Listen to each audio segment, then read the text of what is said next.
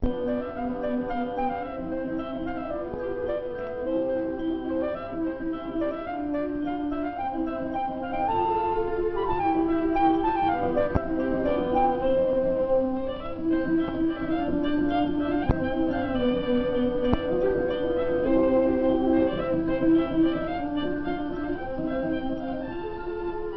they are, today's children, future citizens in our democratic society.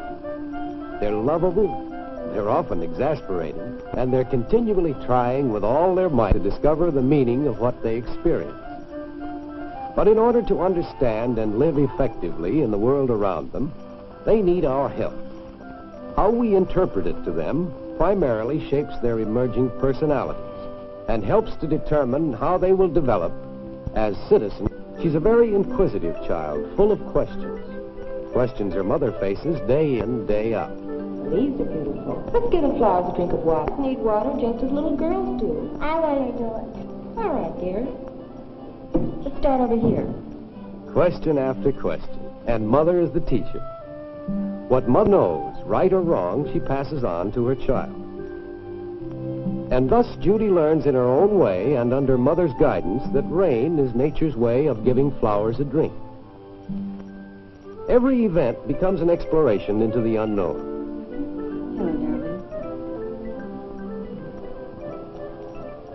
Now, I want you to hold this quietly under your tongue. Why? Because it will show if you are well or not. And if you are, then you may go outdoors and play. Now, I real mommy, can I get up? Almost well. I think tomorrow you may go for a walk with Daddy. The child's never-ending whys often concern matters that are difficult to explain. Yes, darling. They're taking Mr. Jones away today because he's been ill for a long, long time, and he died. Why did he die, Daddy? Well, you see, honey, when people get to be very, very old and they've been sick for a long time, they die.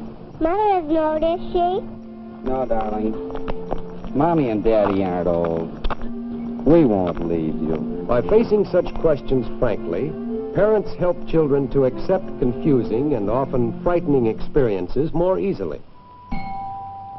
Every new event becomes a source for new questions. Who is this? Why does mother hug this stranger? So this is little Judy.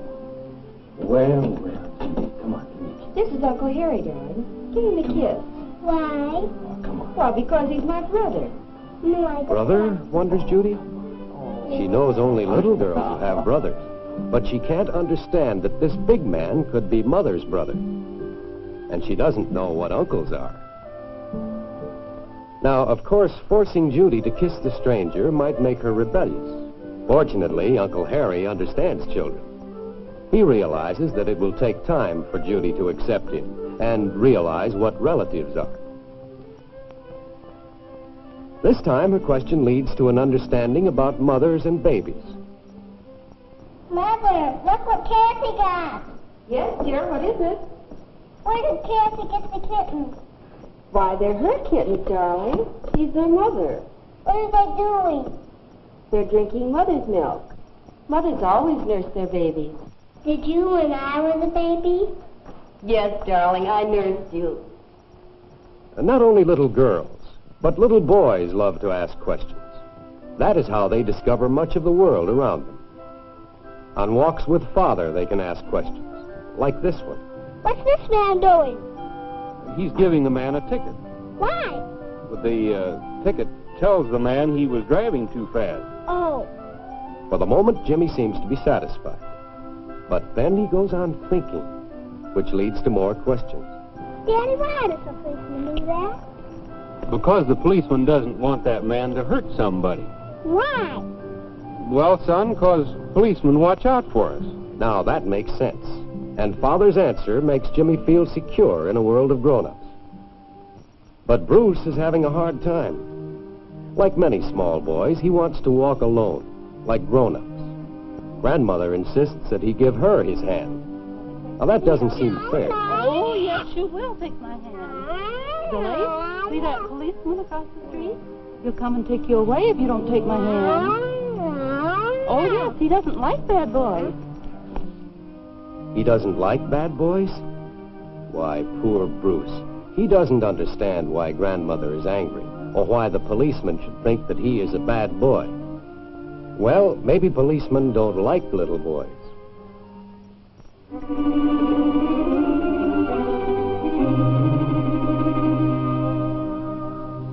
Meanwhile, Jimmy and Father are returning home. Jimmy has enjoyed his walk, and now he is ready to play.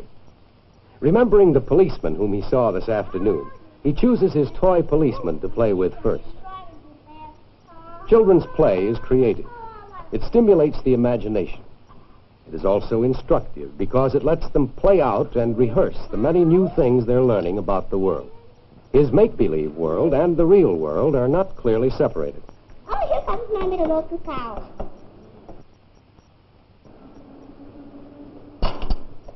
Look, Papa has to lie down to a little rest. Even calms Mother and steps on Father, and that wakes Father up, but Mother's asleep. But through play and by asking questions, he shows how he is learning the meaning of all events. But soon Jimmy is tired of playing alone. Now he has questions to ask and needs someone to answer them. And Mother is always around. Sometimes Mother asks questions and Jimmy gives answers. And sometimes it's the other way around. This, too, Jimmy likes because he feels so grown up when he knows the answers. And every answer shows not only what Jimmy has understood about the world, but also what he is learning from his mother and his father about life. Cows have to eat. The grow big. What is this cow doing? Well, it looks like he's resting. For the same reason. And I know why. So it goes big and strong. That's right. Mommy, let's look at the police book. Police book? Uh-huh. All right. You know, I saw a policeman give a man a ticket once. You did. Do you like policemen? Yes, very much. Why? They protect us, and, and they have to watch out for us. But all children may not be as fortunate as Jimmy. Take Molly here, walking home from school after a day of disturbing experiences, which she is now reliving in her mind. Boys and girls, you may take out your library books now and read them while I'm talking to Molly. I've got the test papers here, Molly. Here's yours. I can see that you didn't understand the test. Why didn't you ask me about the questions that you didn't understand? You know that I'm happy to go over those things again. Why, Molly? Why don't you ever ask questions? I didn't. I didn't want to disturb you. When she was three, Molly was always asking questions. She was a gay and happy child, eager to learn and to grow up. Mother. Mother, why does this horse have stripes? Not now, Molly. Mommy's busy. You're going to spoil her cake. Mother, why? Please stop asking why all the time. Nice girls don't ask their mommies why when they're busy. Never mind now. Sit up on your chair and look at your book. Molly's mother doesn't mean to be discouraging. She's just a busy woman. And so little Molly goes back to her books. But soon she tires of them. There is no one to answer her questions and share her interests. Repeated experiences of this sort stifle her curiosity. A year later, she is what we call a well-behaved child. Now, Molly's father approves of his boy's interest in cars. What are you doing? Hi, Phil boy. I'm fixing the carburetor. Oh, Cleaning it out. Been working on it all morning. You know, these new gadgets are getting more complicated every year. When I was a kid, like you are, why, I could fix this with a penknife.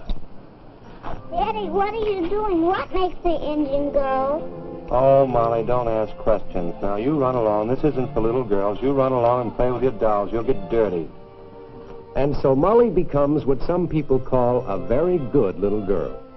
In fact, so good and quiet that she gives up questioning altogether. Then Brer Rabbit grabbed up his banjo and he pranced right into the party, a strumming and a singing a song. Some folks travel fancy, some folks travel plain. Some folks goes on horseback, others takes the train. Some folks has a carriage with a coachman on the box. But when I goes to a party, I travels on old Well, I didn't know you all knew that. Well, that's wonderful. Well, now I bet you can really answer some questions about the story. Wasn't that a funny story? Yeah. What were you going to say, Vicki? Burr, burr, burr, rabbit, tiger, fox, and hare. While all the other children gaily break in with questions and volunteer answers, Molly just sits and watches, not quite daring to be like the others. She doesn't dare risk annoying her teacher, who substitutes for mother We'll in talk school. about that one tomorrow and have the next story. Bye. Bye. Bye. Good. Now you can have pop. No, yes, popsicles later. Good morning, Miss Hart. Oh, hello, Mrs. Chambers. How are you? Just fine, thank you. And how is Molly doing in school? She's a darling child and so good, but very quiet. Molly, dear, your mother's here.